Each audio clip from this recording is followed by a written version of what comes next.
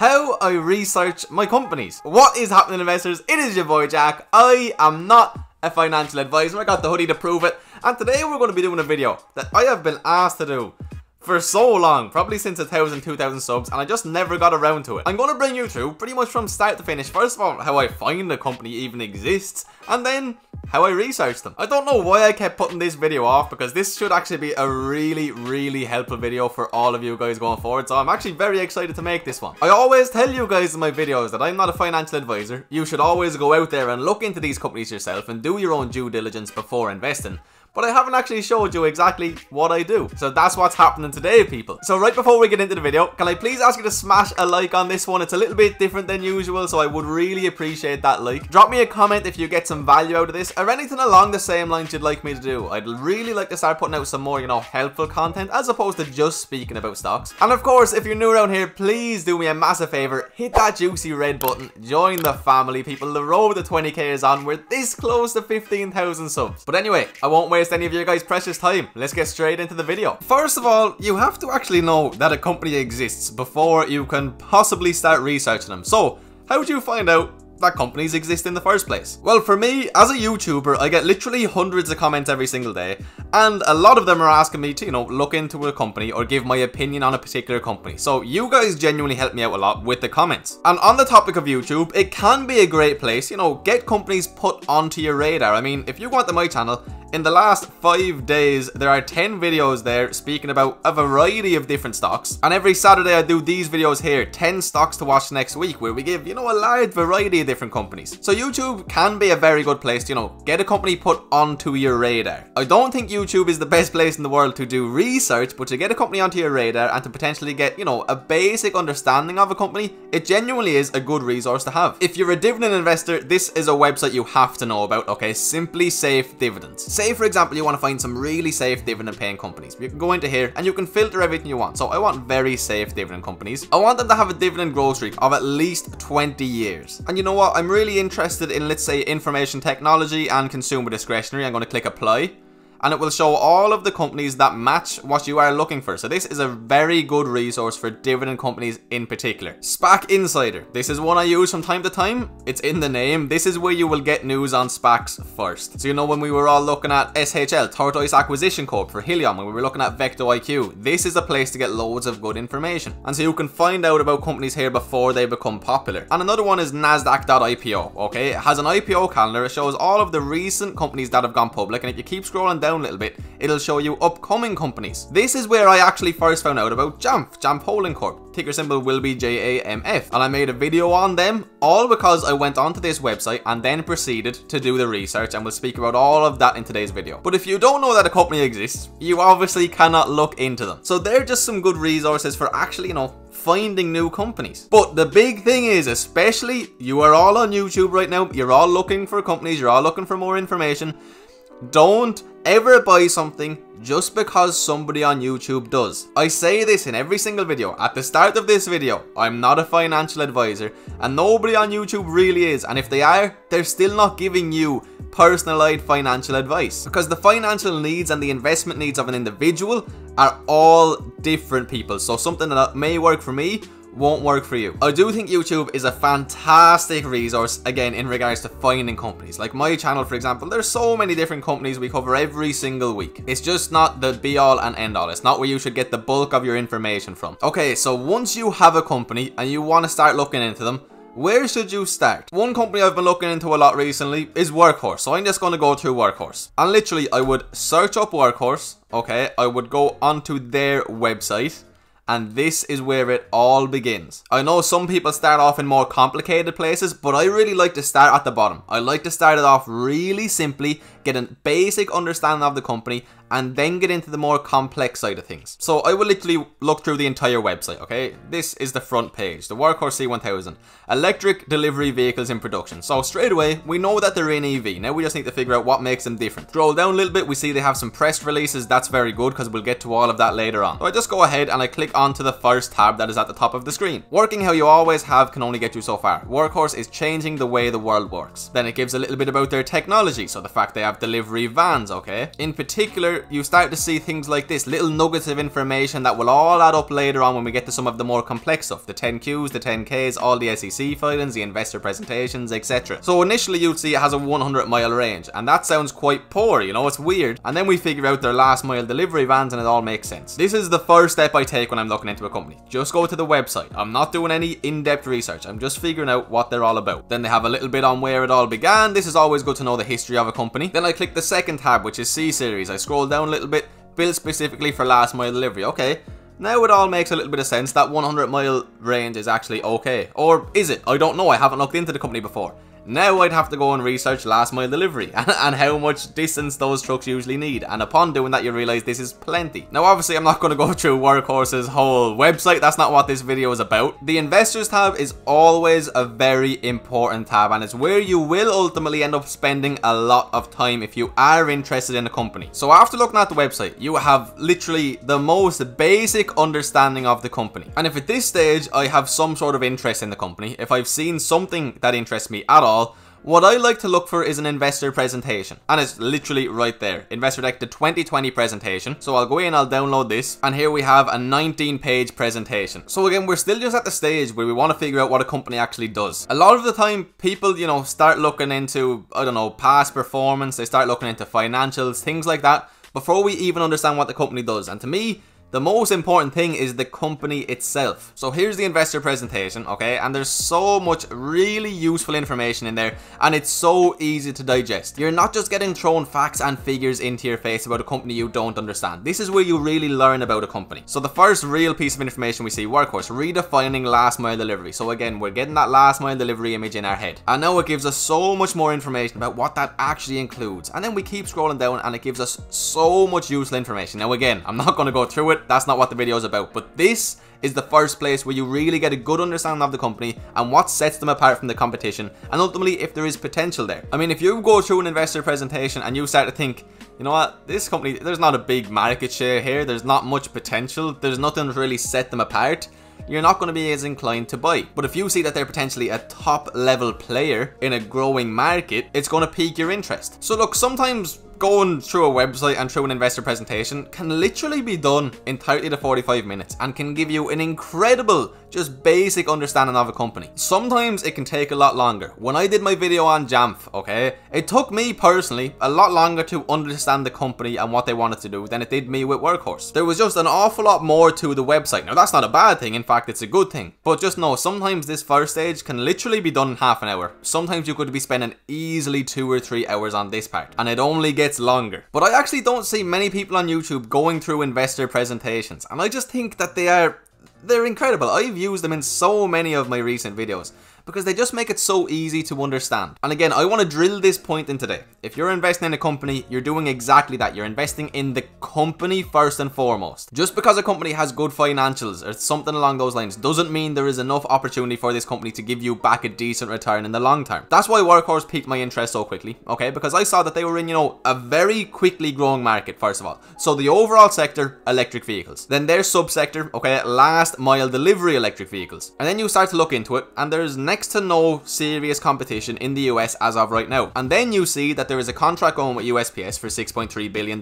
You see that just through looking through this 19 page investor presentation. So then you think, okay, I initially like the look of this company. Let's get into the research. So at the start of the video, I said I like to start with the very basics and work my way up. So the absolute basics, you know, maybe you're on YouTube. Then you go to the company's website. Then you have a look at the investor presentation. The next step is also really simple. I open up a new tab and I literally type in workhorse.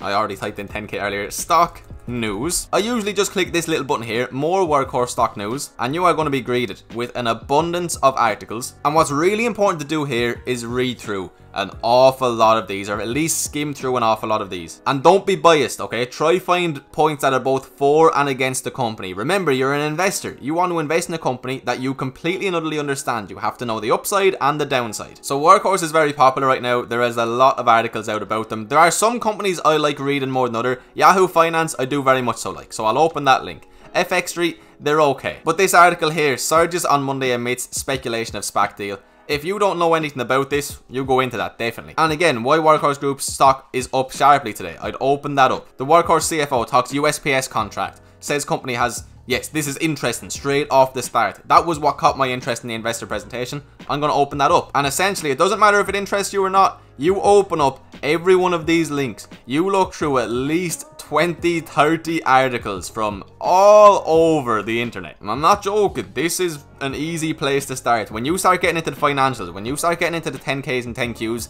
this is so much simpler. People literally put all of the information in there for you. So you start to read through 10, 15, 20 different articles, and you are going to get a really, really, really good understanding of the company at this stage. All of these articles will be drilled in with numbers, with percentages, with Dows, with S&Ps, good points, bad points. You're going to get a great understanding of the overall business. Now me personally, since I make videos, if I find something interesting, I would often open up my notes and put it into there to reference back to for future videos. But even if you don't make videos, it could be good to make a list of key points, you know, either just write them on a note on your phone, on your laptop, or literally get yourself a little notepad, write the stocks ticker at the top of the page, and just write down loads of useful information. Because when you're looking through 10, 15, 20 different articles, the first, the second, the third article you start looking through, by the time you're on to your 20th, you're going to forget a lot of what was said. Also, it's at this stage it should be known, take breaks. Don't just be here like this.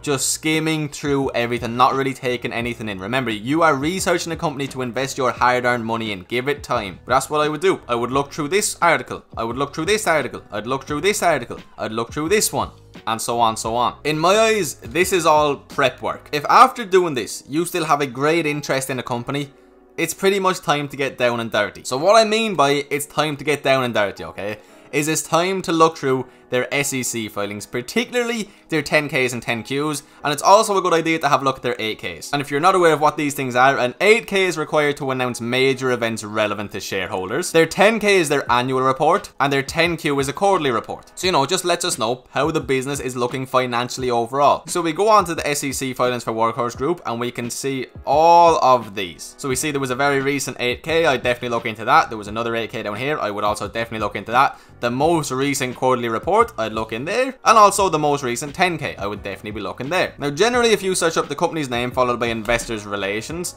you can just go into investors and it will show you the information. So, you know, here I could just go click in for the 2020 Q1 earnings. I could go through all of the other quarters earnings and scroll down and it has all of the 10Ks as well. And then further on, you go down to the press releases. A lot of the 8Ks will be here and just some other relevant information. But anyway, let's say uh, I want to go look at the 10Q. What can you expect from the 10Q? Table of contents, financial information. So financial statements, an awful lot to do with a company's financial information will be found in their 10Q. That's the main reason investors look at these 10Qs is to see how a company performed financially over the last quarter, to see if we're seeing some quarter over quarter growth, some year over year growth, etc. Then there's other information such as legal proceedings, risk factors. This can be a great place to go into and see what the actual risks are with a company. Because oftentimes we get very excited looking into a company.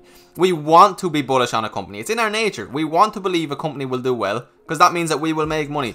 I always recommend reading through these risk factors. And if you go over to the 10K, which is the annual report, you will see as well risk factors. Genuinely, please always read through these. I know you want to be a bull, but to be a true bull, you have to understand the risks. Just because a company has good ideas, good prospects, doesn't necessarily mean they're a good investment. Now, I will say the most important thing to me personally is the company itself and what they do. But you do have to have a level of financials to back that up. Now again, this does change depending on, you know, whether it's a relatively new company, whether it's a high risk growth stock, or whether it's, you know, a safer dividend stock. So you can't judge every company equally, but it is important to know what's going on. When I started investing, okay, I remember opening up a 10Q. I think it was for Coca-Cola or something at the time, okay? And I was so overwhelmed as a new investor. I really didn't understand it. And it took me months of reading these forms forms to start to understand them and to start, you know, having the brain power to sit down and actually read through these forms. And trust me, it will make you such a more informed, such a more confident investor. No matter how many YouTube videos you watch, or no matter how many articles you read online, until you get the words directly from the company's mouth, you will not understand the company as inside out as you should. So I really do want to put stress on this. If you want to be a good investor, if you want to be confident in the investments you make, read the 10Qs and the 10Ks. I know it's a chore, but please do it. Now, sometimes you're going to do all of that, okay? You could literally spend 10 to 12 hours looking into a company very easily. And at the end of it all, you're going to be like, I still don't really understand the company. If that happens, it's not for you. You don't have to invest in every single company you ever look into. If by the end of doing all that research, you are confident, you know, you believe in the company, they have financials that you personally are happy with, and you see good prospects, Happy days, you have done your due diligence. Now, one more thing I want to speak about, you should probably do this before the 10Qs and 10Ks, to be honest, is have a look at the management, have a look at the CEO, because great CEOs and great management teams lead to great growth. You want to know what these people do, okay? So the first thing you obviously want to look at is the CEO, okay? Duane Hughes, senior level executive with more than 20 years experience, including direct business relationships in the automotive, advertising, and technology segments. For a CEO, that's what you want to see. You want the man who understands the sector inside and out, who has experience. Prior to joining Workhorse slash AMP Electric Vehicles, Duane served as COO for Cumulus Interactive Technology Groups. Prior to them, Duane spent nearly 15 years in senior management positions with Gannett Co. Inc including his duties as Vice President of Sales and Operations. So straight away, the CEO, a lot of experience in relative fields. That's very important. I'm telling you, if you go and look at the biggest companies in the world, you know who their CEOs are, and it's for good reasons, because they are incredible innovators. They're incredible at growing businesses. I mean, let's just take Tesla for example. Elon Musk. Without him, no way Tesla would be where it is today. I don't think anybody else in the world could have done what Elon Musk has done. If we have a look at Google, okay, this is a CEO you may not actually be aware of, but his name is Sundar Pichai. That's definitely not how you pronounce it, but I'm sorry, Sundar. You're not ever going to see this video anyway. So he became the CEO of Google October 2nd, 2015. Since that exact date, Google is up close to 150%. And shortly before he became CEO, the stock's price actually spiked big time. So this was more than likely off the news that a new CEO was coming, and since then it's actually up closer to 200%. In the five years before he became the CEO, Google had only gone up 116%. So management really does make a massive difference on a company's growth and therefore their stock growth. So I mean, obviously spend the most time looking into the CEOs, but do look into the COOs, the CFOs, and so on and so forth. It is genuinely very important. Now, did you notice I haven't mentioned a stock chart yet? Because this to me is genuinely one of the least important things to know. You have to know the business, you have to know the management, management. You have to know the past performance. You don't have to know the stock's price. So once all that's done, yeah, maybe I go and I have a look at the stock price and I see what's happened. And with Workhorse, we can see that was a crazy five years. I mean, they were up nearly 450%. They came back down massively. As of right now, they're up over 700% on the five-year chart. Now, Workhorse is a, not a traditional company you'd be investing. I mean, now if you look at any well-established company's stock chart, for example, like Microsoft, in general, it's going to look something a little bit more like this. Now, Microsoft has had a weird history as well, in all fairness, but in the last five years especially, it's been immense. Notice again, Microsoft had a very slow period for a very long time. Microsoft got a new CEO, February 4th, 2014. Since becoming CEO, he has brought Microsoft stock price up over 450%. In the 10 years before he was CEO, they had only gone up about 42%. Management is important, guys. Please do your research on management teams. And then you can just go start getting some extra little bonus pieces of information. So again, we'll go back to Workhorse. And right now I'm on Seeking Alpha. Seeking Alpha has so much useful information on there. Where I will spend most of my time is on financials. Now, if you go into financials, you will see financial statements, which has their income statement, balance sheet, cash flow. I oftentimes look at the balance sheet for companies, overview, SEC filings, splits, options, everything. And for free, you can see the last five or six years of information. So instead of having to go through five or six 10k forms by yourself, you just go to a great website like this. Let's go to the balance sheet, see their current assets, see how they've grown or gone down. You can see their total assets, how they've grown or gone down, what they are actually made up of, current liabilities, total assets, etc, etc. Then, you know, I mentioned Yahoo Finance earlier. You could just search up, yet again, Workhorse. And again, there's just so much really useful really to understand information here. You can have a look at different stock charts. You can have a look at trading volumes over the years. You can see what analysts they think of it in the short term, mid term, and long term. You can scroll down and you can see their last few earnings and if they've bet or done worse than estimates. You can see their financials, their revenue versus earnings. You can see analysts recommended trends, everything like that. But again, this is just kind of, you know, the little cherry on top when you've done all of the real research. So after seeing this video, I hope that you will now understand that watching a 10 to 15 minute YouTube video is nowhere near enough research to be confident investing in a company. And one of the big reasons I'm making this video is because I was that person before. When I was first getting into investing, I watched loads of YouTube videos. I'd see big YouTubers invest in a particular company. I wouldn't look at a single 10Q. I wouldn't look at a 10K. I wouldn't even look at a balance sheet. I'd look at a max stock chart and that was all that was all and weirdly enough that didn't work out very well for me. I had to sell out of a lot of positions, either at, you know, a marginal win or a marginal loss, because I invested in companies I didn't understand. I didn't do my due diligence and I wasn't comfortable letting my money sit in those companies. If you do the proper research, you will have so much more confidence in your portfolio. You won't have the anxiety that comes with having to check it every single hour of every single day that the market is open. It will pay off massively for you in the long term. So guys, there we have it. That is how I personally research my companies. There is literally an infinite amount of time that you can spend researching any given company on any given day. And you will have to keep up to date with companies as well. Like me, for example, and again, we'll use Workhorse as an example you have to keep up with them right now because they're very high risk in nature if this USPS contract doesn't come out. So you have to know what's going on as soon as it happens. I just wanted to kind of push, you know, newer investors, and I still am a very new investor. It's important to keep that in mind, but I did just want to, you know, give you guys some sort of resource to come back to if ever you get confused and if ever you don't really know where to start. That's the purpose of this video. Now, of course, there can be a lot more that goes into researching a company, but these are some great points to really get yourself started. A lot of people just aren't willing to put in the actual work when it comes to it. You know, a lot of people aren't willing to spend hours reading through their 10Qs and their 10Ks and that is where an awful lot of really, really valuable information will be found, guys. So, if there's one thing you take from this video, it's please do that, because I'm sure you're already doing the rest of it. Anyway, guys, hopefully you were able to take some value out of this video. If you did watch until the end, I'd really, really appreciate if you did just smash that like button and even drop me a comment down below, let me know what you thought. Those two things help me out so, so much. And of course, if you're new around here, please do subscribe to the channel. We upload 10 or 11 videos every single week. I don't know how I'm doing it, but it's happening. I hope you all have an absolutely fantastic day, people. I will see you for tomorrow's video. Peace.